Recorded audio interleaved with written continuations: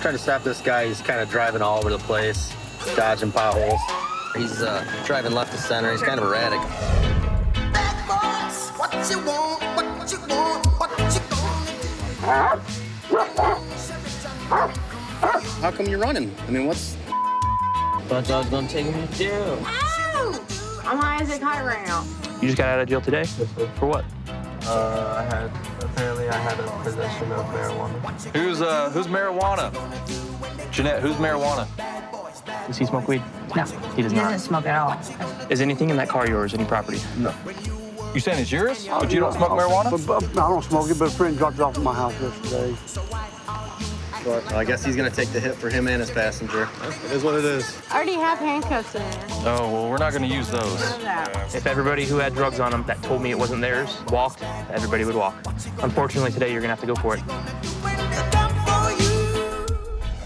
got in a fight over an hour ago and he took off. He was just Officer, give me fire rescue over here, please. baby. Jeff, Jeff.